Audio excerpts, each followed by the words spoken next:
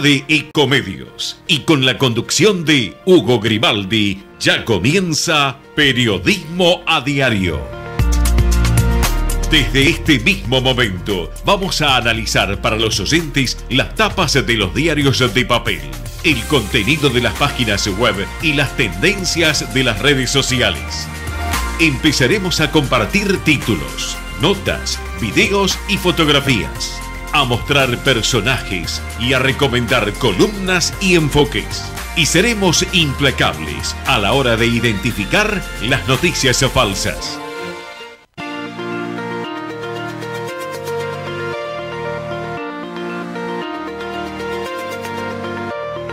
Aquí, aquí estamos, aquí estamos. Muy buenos días para todos. ¿eh? Bienvenidos a Periodismo a Diario. Eh, unos segunditos más tarde, pero el programa ya está en marcha.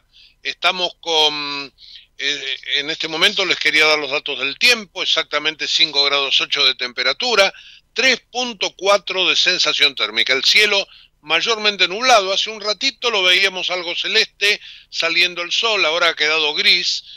Humedad 81%. En un rato les voy a dar el pronóstico para el fin de semana. Eh, antes de empezar a meternos con las notas que tenemos pautadas para hoy, les cuento dos o tres cosas. Preocupación, grave preocupación en la provincia de Buenos Aires. Dos temas están en este momento allí en el centro, en el foco de la atención noticiosa y creo que por aquí tienen que pasar la información. El primero es el aumento de casos de coronavirus, algo que ayer al ministro de Salud, Daniel Goyán, lo llevó a pensar que es momento quizás de volver para atrás. No es algo que esté decidido, se están tirando esta serie de ideas, pero veremos hasta dónde llega. en total en el país ayer 6.127 casos, 148.000 infectados. Hubo 114 fallecidos, estamos arriba de 2.700 muertos. ¿Qué nos dice este número de 148.000 infectados? Bueno, busqué en la estadística la mitad, exactamente la mitad. ¿Cuándo había 74.000? mil? Eh, para ver cuán, en qué tiempo se han duplicado los casos. ¿En qué tiempo pasó de 74 al doble, a 148 como ayer? Bueno, esto ha sido en 19 días. El 4 de julio teníamos algo más de 74.000 mil casos. Así que el tiempo no está mal, pero todos los infectólogos dicen que estamos en el pico o llegando al pico.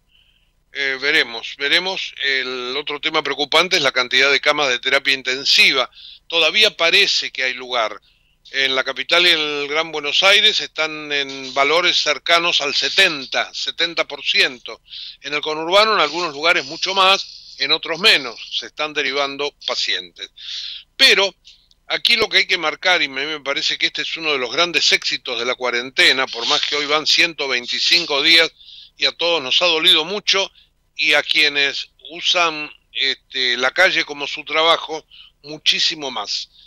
Eh, yo le decía que la cantidad de unidades de terapia intensiva que, está ocupada en este momento es uno de los subocupada, por decirlo bien, es uno de los factores eh, por los cuales no ha crecido la mortalidad gracias a que hay una muy buena terapia intensiva que se ha trabajado para ampliar, etcétera, etcétera, eh, no tenemos tantos casos en proporción a la población como sucede en otros países del mundo. Así que esto no deja de ser bueno. Veremos si hay alguna posibilidad de volver con esto para atrás. Yo creo que está lejana, que no se va a dar por ahora, menos con este tiempo de duplicación, 19 días, pero es evidente que la gente ha relajado, sale a la calle y que no respetar el distanciamiento social puede incrementar los casos. El segundo factor de preocupación en el conurbano es evidentemente la inseguridad. Tanto Clarín como La Nación hablan del tema, Sergio Berni, del tema de lo que ha ocurrido en el conurbano en la provincia de Buenos Aires, Ayer se supo que se han fortalecido el patrullaje federal en ocho municipios. Avellaneda, Quilmes, La Matanza, Almirante Brown, Moreno, Esteban Echeverría, Florencio Varela y Lomas de Zamora. El punto pasa por lo que yo les dije ayer a la mañana. ¿Quién coordina estas fuerzas? Porque está bien, la ministra de Seguridad Nacional las ha mandado allí. Este, bueno, Sergio Berni dice, yo quiero mandar. Y la nación dice, no. Y ahí se producen estos cruces que ya vienen desde atrás, ¿eh? Ya vienen desde atrás. ¿Recuerdan aquel episodio en el puente de, este, en el puente de la Noria? Hubo otros casos este, con Bernie con protagonismo, etcétera, etcétera. Eh, bueno, ahí está el tironeo. El diario Clarín ayer había publicado en su página web que el presidente de la Nación le habría bajado el pulgar a Bernie. Esto fue desmentido por Guado de Pedro, el ministro del Interior, a quien la nota eh, que estaba publicada decía que el presidente le había dado este, la facultad. Bueno, veremos este, cómo deviene todo esto, porque lo de Bernie verdaderamente ha sido muy agresivo con la ministra nacional y, bueno, si no se llevan bien, alguien tiene que limar las asperezas. Por supuesto que el hilo siempre se va a cortar por lo más delgado, pero, pero, Sergio Berni tiene el padrinazgo, sin ningún tipo de duda, de la expresidenta de la Nación, de Cristina Fernández. Así que por allí también está todo el costado político de esta historia, pero después nos tenemos que poner en los zapatos de los vecinos del Gran Buenos Aires, que están viendo cómo día a día crece el delito, cómo día a día los que salen a la calle no son gente que va a trabajar, sino gente que va a delinquir, cómo se producen entraderas, cómo hay este, mm, arrebatos en la calle.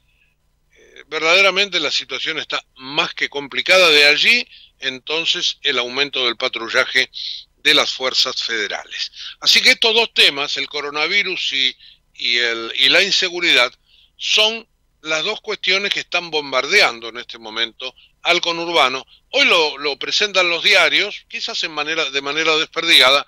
Nosotros, tal como hacemos desde siempre aquí en, Periodismo a Diario, este, tratamos de unir las cosas porque todas tienen un hilo conductor. En este caso, este, la situación por la que está viviendo la población y también el gobierno, que tiene que atender varios frentes a la vez. Bueno, ustedes dirán, los gobiernos están para eso, el que no este, es capaz de atender varios frentes a la vez no puede ser gobierno. Bueno, no, no faltaría razón si uno piensa así, pero también hay que, eh, hay que pensar que una situación como la de esta pandemia no es fácil para nadie, para ningún gobierno, ni para este, lo fue ni para el gobierno de Italia, ni el de España, ni para Donald Trump, ni tampoco para Alberto Fernández. Eso está claro. Así que coronavirus, inseguridad, el conurbano es el foco de la noticia. Tengo varias cosas más. Hoy se tendría que haber presentado la reforma judicial. Lo digo así en potencial, todavía no ha sucedido el día viernes, pero toda la información dice que el gobierno sigue trabajando en esa reforma, que hoy no va a ser el día. Vamos a ver si después podemos hablar con alguien en, el Senado puntualmente para que en todo caso nos aclare un poquitito. Eh, volviendo al, al, tema del gobierno, del gobierno nacional, el diario La Nación trae una nota de nuestro colega Claudio Jacqueline, en la cual se habla de cambios en el gabinete, algo más que rumores, dice Jacqueline, en el diario La Nación. A falta de goles, los rumores sacuden las redes y ganan audiencia. Las versiones sobre cambio de gabinete encabezan la tabla. Esta es la, eh, lo que dice esta nota de hoy del diario La Nación. Habla, por supuesto, del tema Bernie frente a Sabina Frederick, pero después agrega una serie de cosas que estarían haciendo pensar que podría haber otros cambios. Este, bueno, la nota realmente está muy interesante. En un momento dado, bajo el subtítulo Gabinete Inestable, se habla de este, algunos cambios. Eh, dice, al titular de la cartera sanitaria se lo viene manteniendo en el cargo la pandemia lo viene manteniendo en el cargo, y en su caso habría coincidencia entre sus propios deseos y los del presidente en estar en otro lugar. Eso este, por el lado de Ginés González García. Su performance está lejos de contar con un club de admiradores. Daniel Arroyo, María Eugenia Bielsa encabezan la lista. Mientras está jugando el repechaje, no es momento de hacer cambio, dices. Dicen, Martín Guzmán es beneficiario en el área económica tanto como responsable. La realidad parece favorecer cierta dificultad para tomar decisiones que caracterizan al gobierno de Fernández. Postergar es sobrevivir, dice la nota de Claudio Jacqueline, que por supuesto habría que leer. Hablando del gabinete, el canciller ayer fue em, bombardeado por fuego amigo nuevamente, ¿eh? cuando uno dice fuego amigo con alguien cerca del gobierno, como le ha pasado al presidente, bueno, ahora le han tirado a Felipe Solá. Eh, ¿Quién? Alicia Castro, embajadora designada en Rusia. Eh, va a tener que depender de Solá, bueno, se pelea con su jefe. ¿Por qué? Porque Felipe Solá dijo que Nicolás Maduro era autoritario. Recordemos que Alicia Castro fue embajadora argentina en Venezuela y ha dejado amistades forjadas allí. Y bueno, ha salido a defender a Nicolás Maduro, aún en contra de lo que opina el canciller que se supone que es la voz del presidente, porque la constitución lo dice, ¿no? La política exterior la marca el presidente de la nación. Así que yo diría otro tiro por elevación, Alberto Fernández. Me parece que mm, esto se sigue dando. Igualmente, eh, no hay que descartar un aspecto extremadamente ideológico de Alicia Castro, que la ha llevado a este exabrupto contra quien es su jefe. Eh, bueno, digo que esto es lo más, eh, lo más gordo en todo caso este, que tenemos en el día de hoy. Me voy al tema de la deuda. Dice el cronista comercial en la tapa, inversores esperan guiño oficial sobre la oferta. El riesgo país está en el nivel más bajo en cuatro meses. ¿Mm? Así que este, ahí el cronista nos trae esta novedad. La discusión ahora pasa por la estructura legal que respalda la oferta. Tema que también en su tapa recoge el diario Buenos Aires Económico. Mm, va de negocios, va exactamente por el mismo lado. Por la opción de ajustes en el marco legal, crece la expectativa de un acuerdo. ¿Recuerdan? Nosotros lo dijimos el día lunes. Dijimos que se van a poner de acuerdo en lo numérico, donde el gobierno ha dicho que no se puede pagar más, pero antes se necesita cerrar lo legal. Y por ese lado puede haber resquicios para seguir negociando. Así que todo el mundo ve más o menos lo mismo en este momento. Bueno, tengo que volver a hablar del tema inseguridad y lo vamos a hacer ya mismo con Eugenio Bursaco, que es un experto en el tema este, y, creo que lo tengo en línea. Lo saludo en principio. Eugenio Hugo Grimaldi, ¿cómo te va? Muy buen día. ¿Qué tal? Buen día, Hugo. ¿Cómo está usted? Muy, muy bien, muy bien. Y gracias por atendernos. ¿eh? Eh, yo decía hace un ratito que mm, el conurbano bonaerense tiene dos problemas mm, extremadamente graves. En este momento, por supuesto, la epidemia, el coronavirus, que sigue creciendo, pero la cuestión de la inseguridad. Este, y que esto se manifiesta en que, en que las casas son cada día más vulnerables, que los vecinos siguen teniendo miedo, que hay evidentemente muchísimo movimiento. Eh, no se habla mucho de, la acción del narcotráfico por detrás. Y quiero empezar la charla desde este lado. Eh, eh, ¿Está, está este, influenciada por esta cuestión? el tiempo va a decirlo. Lo que está claro es que este gobierno tiene una actitud muy distinta a la anterior respecto a este tema disolvió la subsecretaría de lucha contra el narcotráfico y lo que es más grave para mí es sacó la mayor cantidad de, fuerzas federales de conurbano y de Santa Fe y eso afecta los niveles de, inseguridad, sobre todo de, delito violento. Por eso se queja Bernie contra el gobierno nacional, porque no hay presencia y no hay coordinación, más allá de las particularidades de la pelea personal entre Bernie y Federic. Eh, para mí, perdón, Bursaco, me parece que además de los, de los temas personales, eh, eh, de algún modo Bernie quiere imponer su autoridad para manejar las fuerzas federales. Creo que va por ese lado, ¿no? Sí, eso no es posible. Las fuerzas federales dependen del Ministerio Nacional. Pero lo cierto es que nosotros dejamos la gestión anterior con 7.000 gendarmes, prefectos y policías federales en el conurbano y Mar del Plata, y, este gobierno ha, reducido ese número a niveles insignificantes. Y, más allá de que no puede hacer lo que usted dice, y eso es correcto, y lo que hizo otro día en el puente es, es un disparate, eh, más allá de eso sí es cierta su queja de que no hay presencia real y no hay coordinación en las tareas, y, y ciudades como Buenos Aires o como Rosario o la propia ciudad de Santa Fe, sin ayuda federal, con el avance del crimen organizado que hay, es muy difícil controlarlas.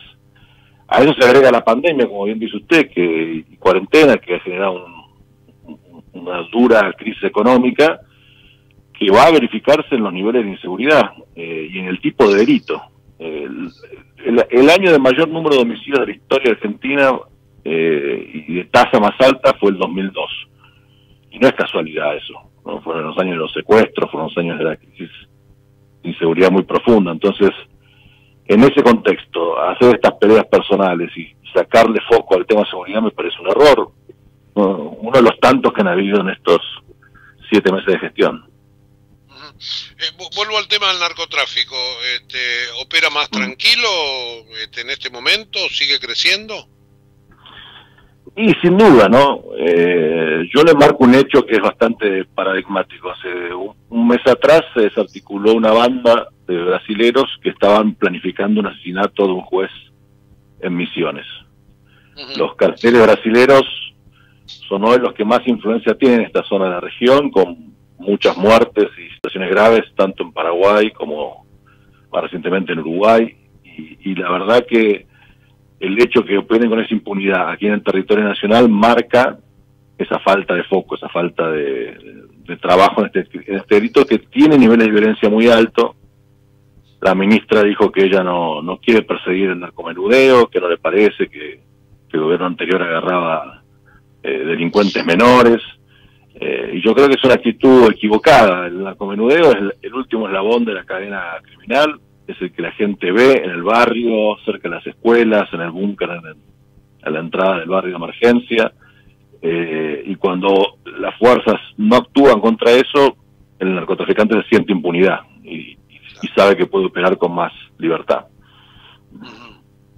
Ahora, esto a su vez me parece que provoca el, sentimiento de inseguridad de la gente, por ahí la gente se arma y por eso se generan estos episodios como que, este, trata de cuidarse por sí mismo, aún matando a delincuentes, como ha ocurrido en estos días. Este, yo tiendo a justificarlo por ese lado. No, no sé usted qué piensa.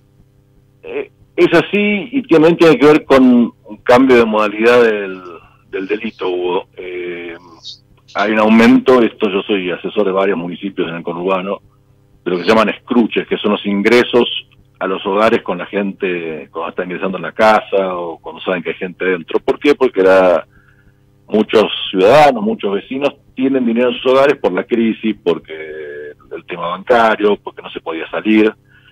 Eh, eso conlleva ya de por sí más peligrosidad y más violencia, porque cuando el hecho ocurre en el hogar y hay otras personas, las personas reaccionan, se defienden y, bueno, pasan estos dramas, ¿no? Eh, justamente estos días hubo dramas de ambos lados, dos, dos jubilados que mataron, uno acá en Quilmes y otro en Mar del Plata, delincuentes que ingresaron a sus casas, pero también hubo otros hechos horribles, ayer leí uno en Ingeniero Mayuis, donde entraron al hogar, torturaron a las personas y las mataron porque no le decían dónde tenían el dinero, con lo cual también la modalidad del delito afecta la, la violencia y, el temor que genera la gente, y yo creo que esto es el reflejo eh, de, esa, de esa realidad.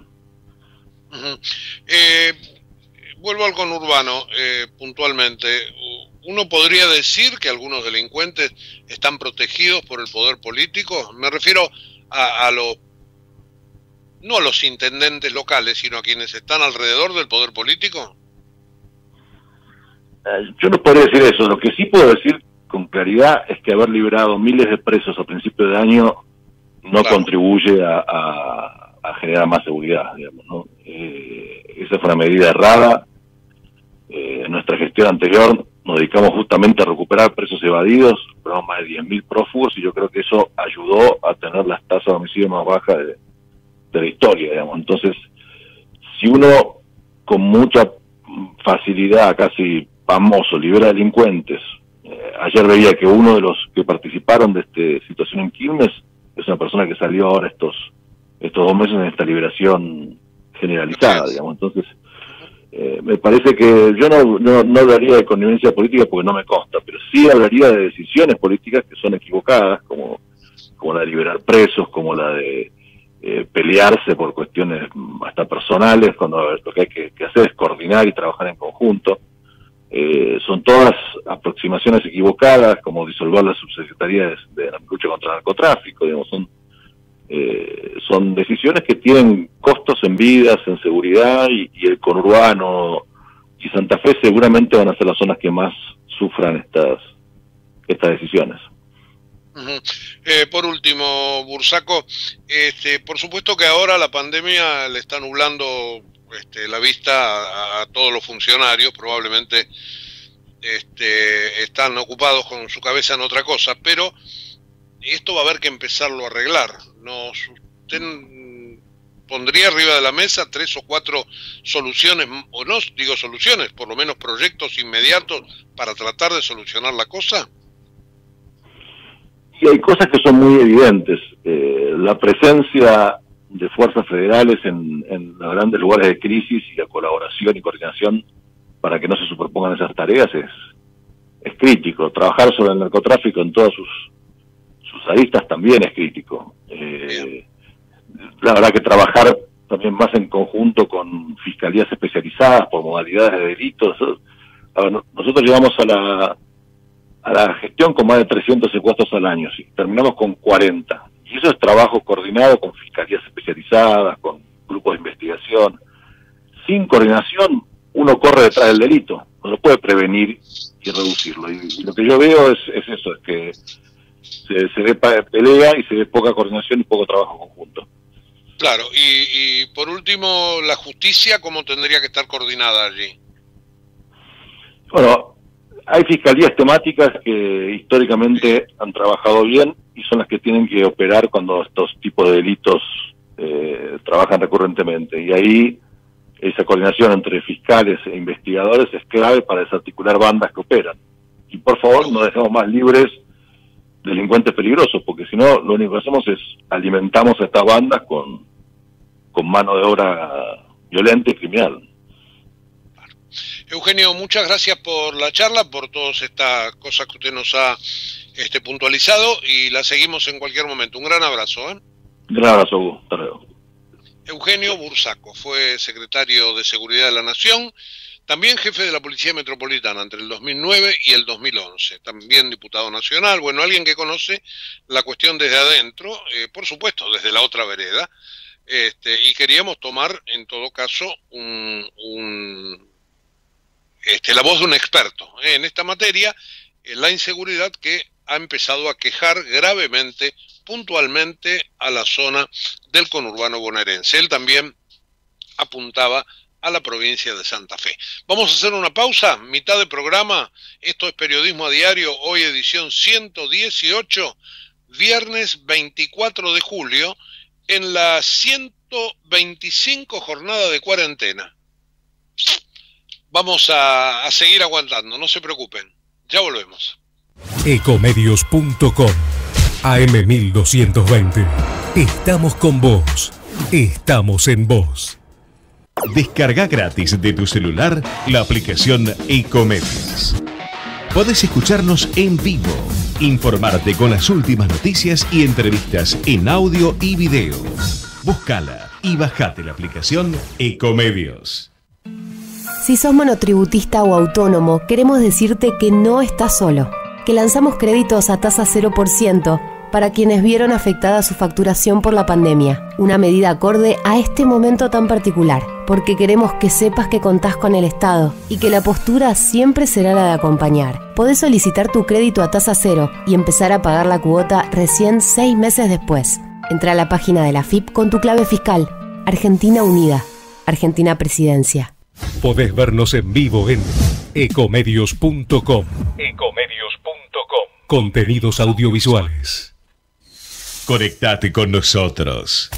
Línea directa 4-325-1220. Diarios y blogs, portales y noticieros, Facebook y Twitter. Para sacarle el jugo a todos los medios. Periodismo a diario por Ecomedios.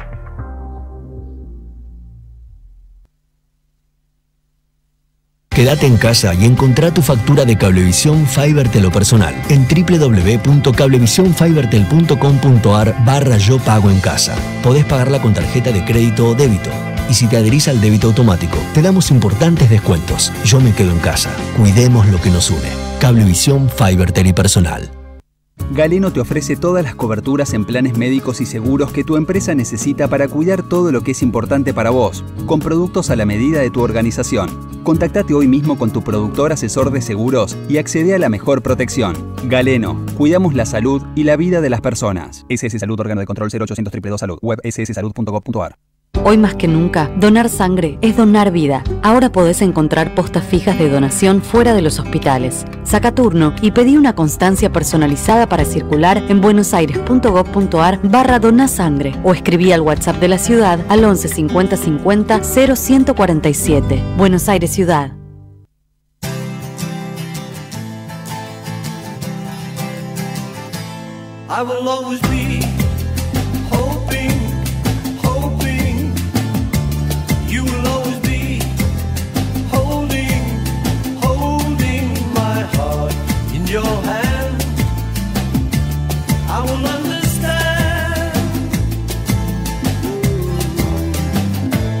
I will understand someday, one day.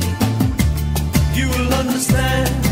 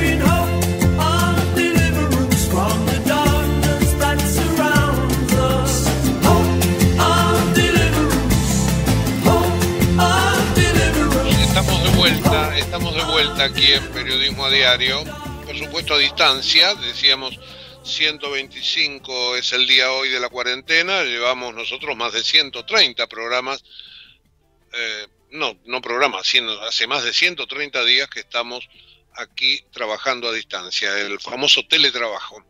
Vamos a ver ahora si podemos hablar de este tema con este, un senador, con el senador Daniel Lovera, del Frente de Todos, que es presidente de la Comisión de Trabajo y Previsión Social, y hace un par de días fue protagonista de, de esa reunión de comisiones donde se decidió no hacerle cambios a la ley, al proyecto de ley que viene con media sanción de la Cámara de Diputados para que se pueda tratar la semana que viene en eh, el recinto, en, en la Cámara de Senadores. Lo tengo al senador Lovera en línea. ¿Cómo le va, este, Daniel? Buen día. Hugo Grimaldi Bien, bien, aquí en. Ecomedio. ¿Cómo anda? Bien, acá andamos, acá andamos, este, con, con un día bastante lindo hoy en la provincia de La Pampa, después de, de tres, cuatro días con, con, con tipo neviscas y este Sí. y todo el cielo oscuro. Bueno, acá de a poquito, de a poquito parece que se quiere ir abriendo el cielo, pero, pero todavía está muy nublado. Eh, ayer, bueno, ayer hubo una reunión bastante tiro- tironeada en el, en el Senado, ¿no? Con, ahí con una discusión final entre la mm, vicepresidenta de la Nación y, y Martín Lustó. Este, de, esto vamos a, volver a- vamos a volver a hablar luego, porque yo quería iniciar eh, con respecto a la, a la ley de teletrabajo. ¿Por qué motivo se ha decidido no hacerle cambios, pese a que algunas cositas parecía que se iban a consensuar? Eh, en principio, o sea, se, se- se- se avanzó mucho, eh, hubo muchos diálogos, o sea, a ver, esto arranca con mucho trabajo en la Cámara de Diputados, donde también participamos sectores de los senadores y de las senadoras. La idea era consensuar una ley este, que se votase o, en diputados o en senadores, donde tu- tuviésemos la voluntad de conseguir los consensos más rápidos, surgió en diputados, se trabajó mucho, se sacó una ley en diputados. Cuando llega a senadores, este, planteaban alguna la posibilidad de hacer algunos cambios, se escuchó a todos, no solo a los que públicamente fueron a las comisiones, eh, a los representantes de los trabajadores y al ministro en, en una de las de las comisiones de las semanas anteriores. En la, en la semana posterior este, estuvieron los representantes de, de los empresarios y fuimos trabajando con senadores y senadores de la oposición de distintos bloques a ver si podíamos lograr un consenso con algunas modificaciones que pedían. Está- estábamos muy estamos muy cerca de la mayoría de los artículos en la regulación del teletrabajo pero la decisión de, de sacar dictamen sin modificaciones es porque casualmente si bien no son muchos los pedidos sí son pedidos que no estamos de acuerdo que son este, temas contrapuestos y este entonces se decidió este avanzar con la ley que eh, tiene diputados por una cuestión. Primero porque es una ley que, que, que regula, eh, eh, que da herramientas fundamentales de protección en una modalidad laboral y el resto lo deja en cabeza de cada uno de los convenios colectivos de trabajo para que eh, sean los convenios colectivos de trabajo los, que- los que terminen de determinar algunas acciones en cuanto a la actividad. Porque no es lo mismo teletrabajar en la industria del software con empresas que a lo mejor tienen distintas eh, eh, em- este, empresas en el exterior, multinacionales, eh, que tienen una eh, formación diferente, que cobran un salario diferente y que están teletrabajando hace un tiempo bastante largo. Y otra cosa son aquellos que la pandemia nos cruzó al medio, los obligó a teletrabajar y a lo mejor muchos de ellos en esas modalidades se van a quedar teletrabajando. Ejemplos, eh, que es una empleada o empleado de un estudio contable que hoy está haciendo su tarea en teletrabajo, que trabaja media jornada, que ya trabajaba media jornada en forma presencial y que probablemente no sé si, se- si va a volver a su trabajo presencial o se queda en su casa. Y hay ejemplos porque hay que, hay que eh, regular esto rápido porque en aquellos que estaban teletrabajando hace mucho tiempo eh, hubo algún tipo de regulación mínima, pero regulación al fin, con este, los representantes de, de- de esas entidades, de los trabajadores, que algo regularon. Ahora, el tema de la regulación al no estar irrumpió muchas cosas en la Argentina que no tienen protección esos trabajadores y esas trabajadoras. Por eso necesitamos la urgencia de la ley. Eh, yo no, no, para nada voy a, a criticar la urgencia de la ley, creo que es necesaria.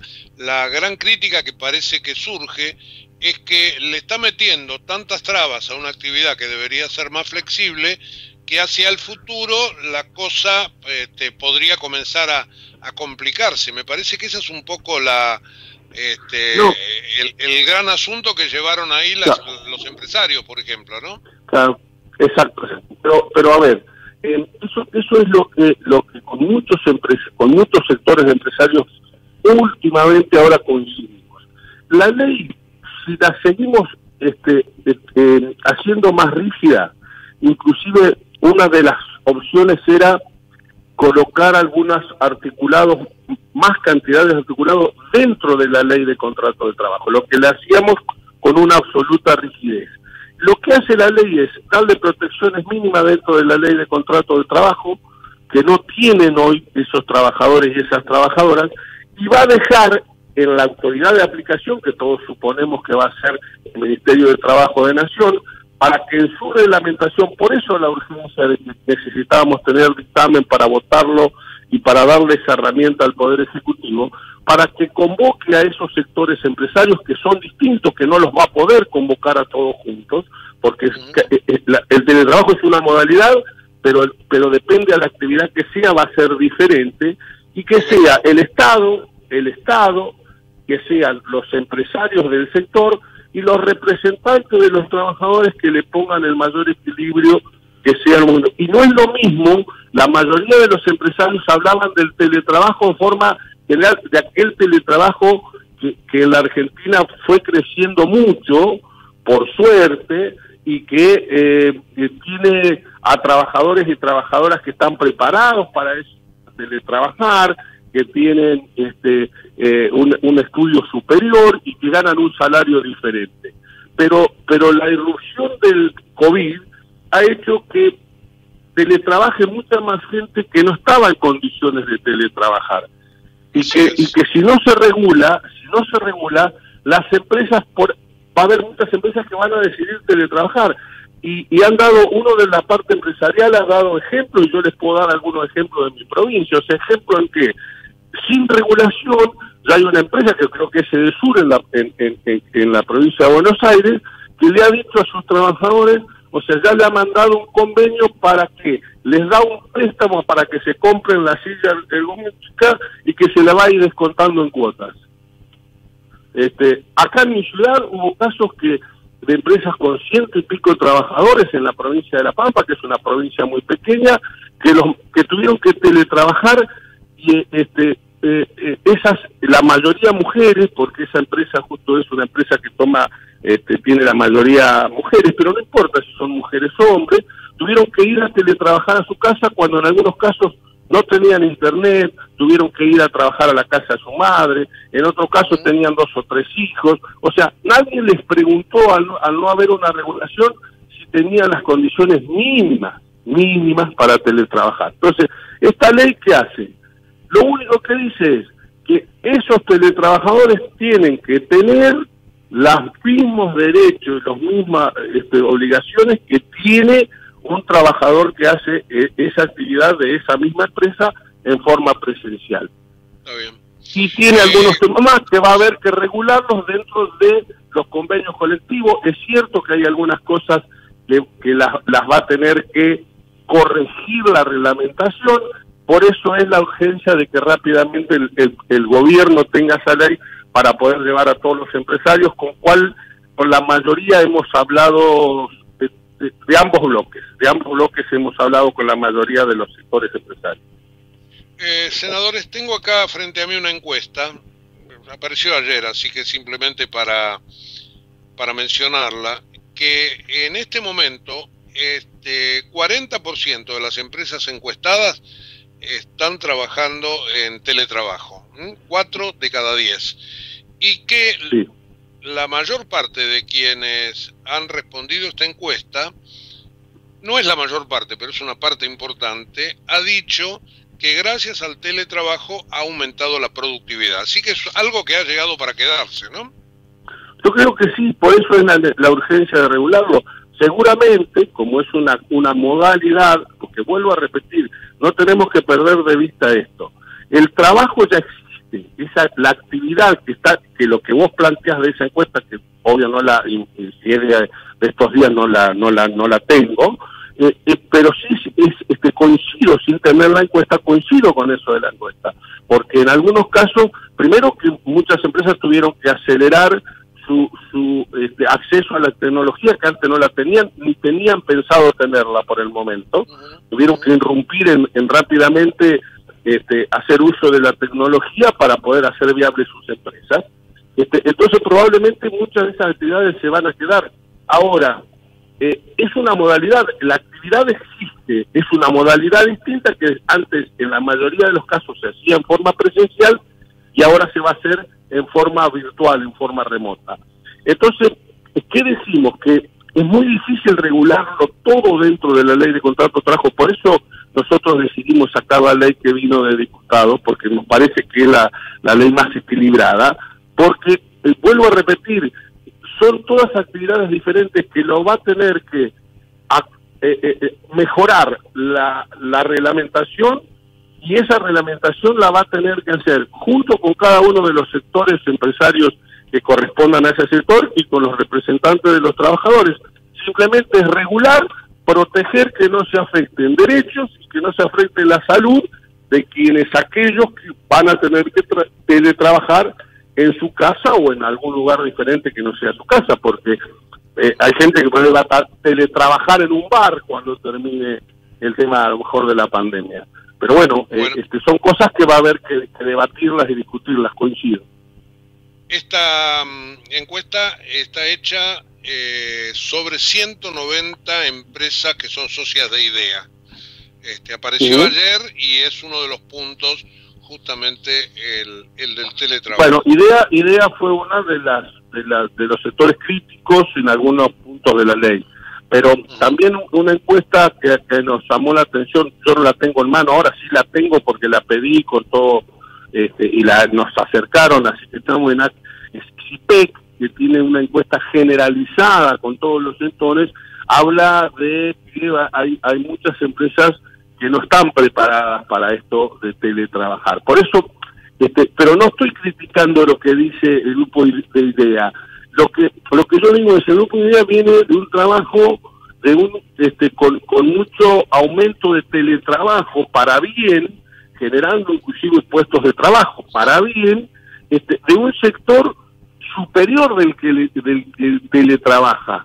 No sé si me, me entiende. Y tenemos este eh, eh, mucha gente que no estaba preparada, ni la empresa ni la gente en teletrabajar.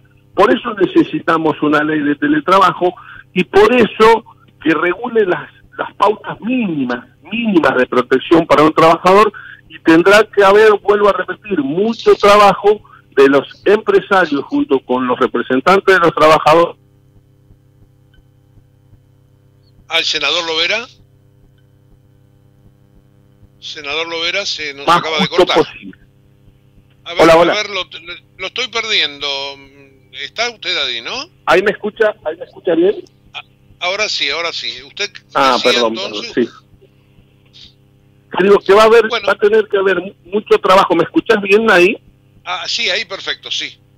Bien, que yo digo que va, va- va a haber, este, la idea era, eh, cuando hablamos con el ministro, que el ministro tenga la ley lo antes posible para que va a haber mucho trabajo en su reglamentación, que lo va a tener que, hacer con todo este equipo o con todos estos representantes de los empresarios que vos estás nombrando y, y que son los que tuvieron actividad en, la, en las comisiones y también con los representantes de los trabajadores. Entonces esas tres patas, Estado regulando, trabajadores y empresarios, seguramente van a sacar el mayor equilibrio posible para que el teletrabajo sea beneficioso para ambas partes. Bueno, la, la última hora sí relacionada con la sesión de ayer, porque hubo ahí una disputa por las mayorías, las minorías. Yo y, y esto es algo que yo dije ayer en la radio y está referido a usted ayer a la mañana, así que te lo planteo con todas las cartas Sí. arriba de la mesa. Yo eh, eh, tomando los argumentos suyos cuando dijo, cuando le dijo al resto de las comisiones que se iba, que no iba a haber cambios y que se iba a seguir este, con el proyecto que venía con media sanción de diputados, yo dije, pero entonces, ¿para qué escuchan a, a quienes después no le van a prestar atención si ya la decisión política está tomada? Este, ayer se habló de mayorías, de minorías, yo entiendo que hay una mayoría este, que, que tiene, por supuesto, la posibilidad de sacar la ley este, la semana que viene, pero también entiendo que hay que escuchar y atender los reparos de los demás. Este, ¿Cómo, cómo se, se puede explicar todo esto? ¿Desde la política nada No, no, más? no, no, no, seguro. Yo, yo creo que, a ver, la democracia tiene estos temas que son, eh, eh, que- que, no, es, no es solo lo que pasó a lo mejor ayer en la sesión o lo que pasó, lo que comentás vos en la comisión. hay un montón de trabajo previo hasta llegar a ese momento. De hecho, cuando vos agarrás la ley original que se tomó para empezar a hacer el, para empezar a debatir sobre el teletrabajo, este, se convocó, o sea, eh, nos juntamos con quien era, con quien es la presidenta de la Comisión de Trabajo del- del- de la Cámara de Diputados, con Vanessa Sidley, con todo el resto de los de los eh, autoridades de, de, eh, de la Comisión de Trabajo de Diputados, con, con, con senadores y senadoras de la Comisión de, de Senadores, y empezamos a trabajar juntos, y escuchamos a los empresarios, también escuchamos a los trabajadores, y, y cuando vos agarrás la ley original a la ley que terminó saliendo, cambió en un 70% la ley. O sea, no cambió la columna vertebral. Y ahora no, pasó lo mismo. Yo con, con todas las, las ah, este, entidades este, empresariales que participaron en la comisión, ya habíamos tenido reuniones previas a la comisión, de, los cuales vimos algunos temas y les explicamos, porque no coincidíamos en algunas situaciones de arreglarlo. No es que se decidió en la comisión, es decir, los escuchamos y no le vamos a dar bolilla. Lo mismo que nos dijeron en la comisión, lo dijeron previo a las reuniones de comisión que tuvimos en una o dos semanas en forma continua, los, eh, la mayoría de los días con los distintos sectores, este, lo, lo, pueden corroborar, en la mayoría de esas reuniones he participado yo y hemos dicho cuáles eran las opiniones diferentes.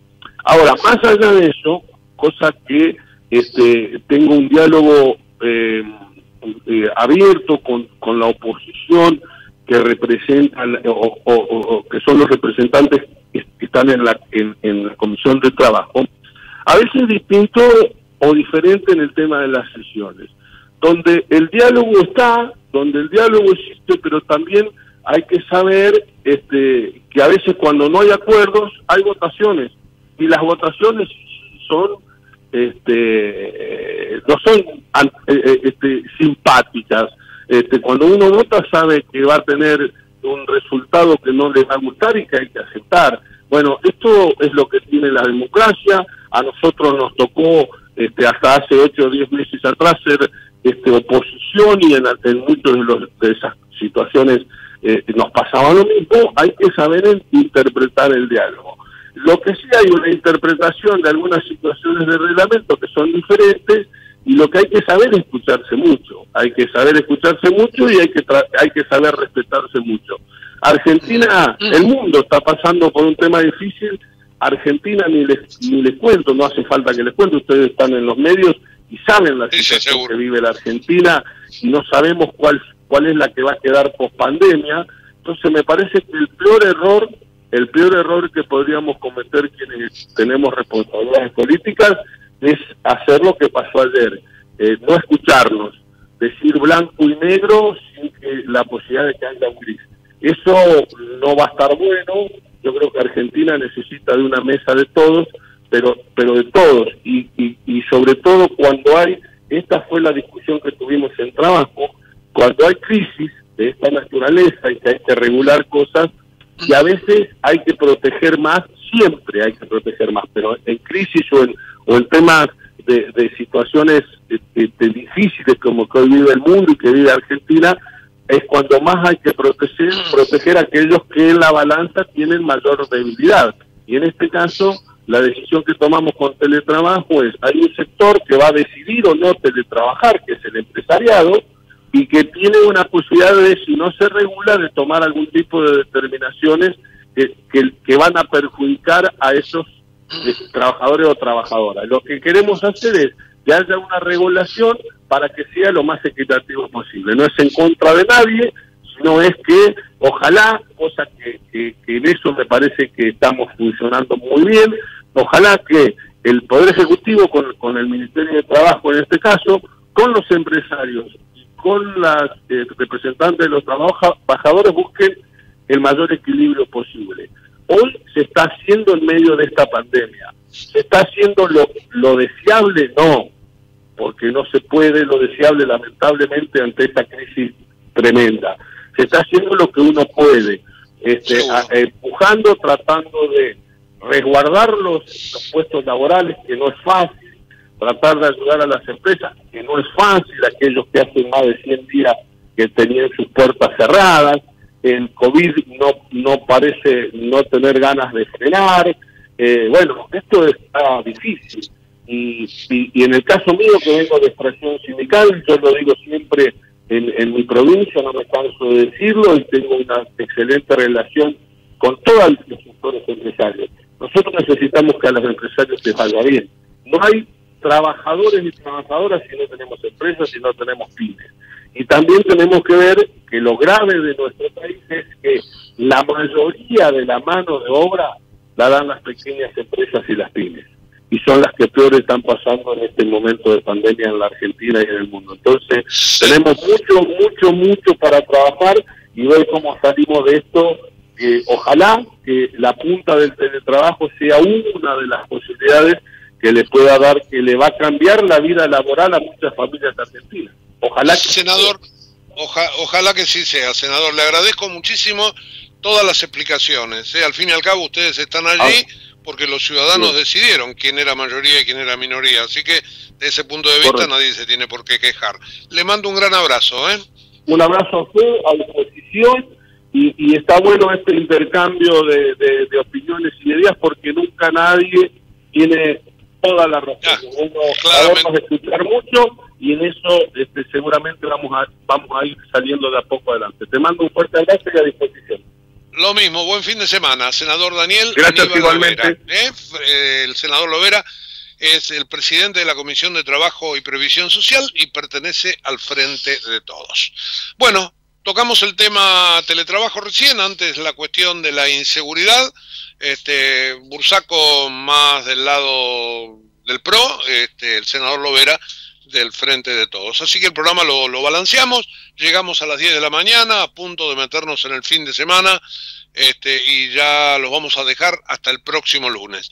Les agradecemos la compañía, los invitamos a quedarse en Ecomedios durante todo el día, pero puntualmente en la mañana, porque ya llega Sara Di Tomaso y después Carlos Clerici. Eh, un saludo para todos, volvemos el lunes a las 9 en punto. Chao. Desde Buenos Aires, Transmite LRI 224, AM 1220, Ecomedios.